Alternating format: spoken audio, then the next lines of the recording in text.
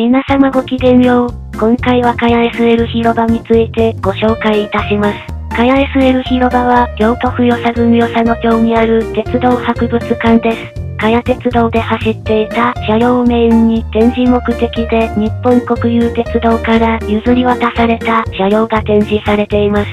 入館料は中学生以上400円、3歳以上200円です。そして、館内に入ると2号機関車やマッチ箱がお出迎え。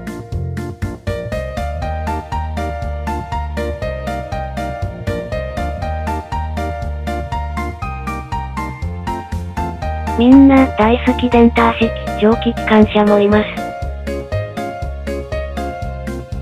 この103号蒸気機関車は、急カーブを曲がることに特化した蒸気機関車です。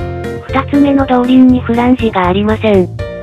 同じような特徴は国鉄4110型蒸気機関車にも見られますが、この103号蒸気機関車は三軸であることからそれほどの牽引力は必要なかったことが伺えます。キハユニ51です。この車両は実際に茅鉄道を走行した車両です。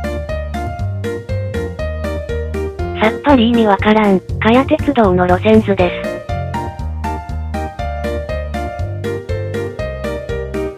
今は亡き郵便車です。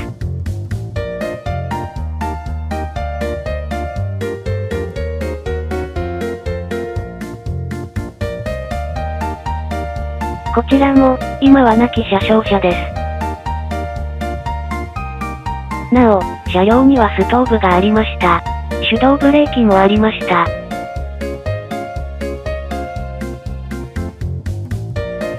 問題です。これは何でしょう？ヒント。現在の同じ役目を果たす車両は赤い。答えは、ラッセル車です。メイドインゴッド排気ガスがえげつない、キハ120の10倍ぐらい、個人の感想です。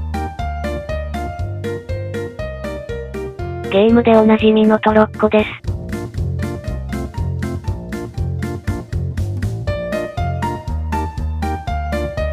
給水塔です。蒸気機関車は何の力で走るのかと質問されますと、大抵の人は石炭と答えると思います。答えは水です。石炭は水を沸騰させるための燃料であり、極端な話、人でも代用できます。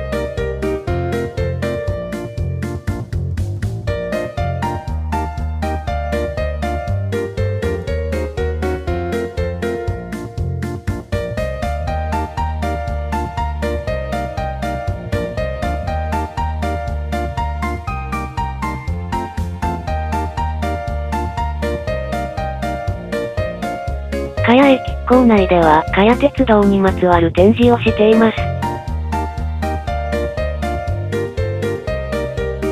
かや SL 広場には、大人気動画シリーズ、名列車で行こうで紹介された極物機動車、キハ08が保存されています。